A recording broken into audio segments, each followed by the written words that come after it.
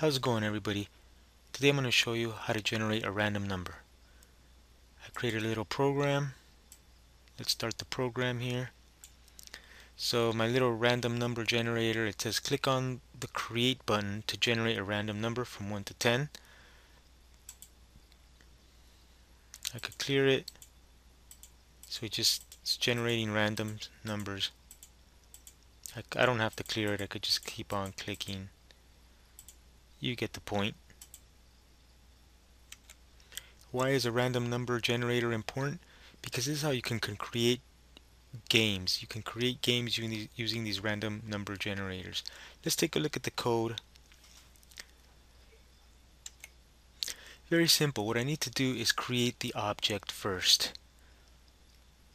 So I created a, a dim statement, random gen as new random as you can see from the code here. Then I created a variable int random number and it's an integer.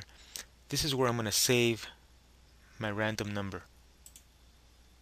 Next section. So my object is random gen and I'm using a method called next. The next method accepts two numbers.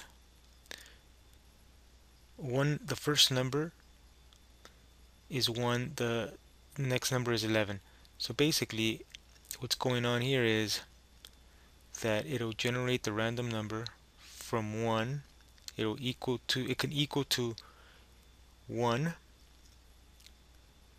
and it will not go over 11 so basically it's 1 to 10 I know it seems kind of weird but that's just the way Visual Basic does it.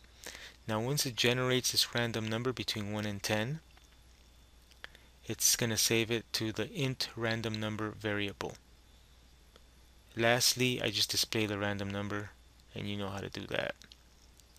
Very simple to do. We use this all the time with games you know casino type games and such so I hope you learned um, how to create a random number. Thanks.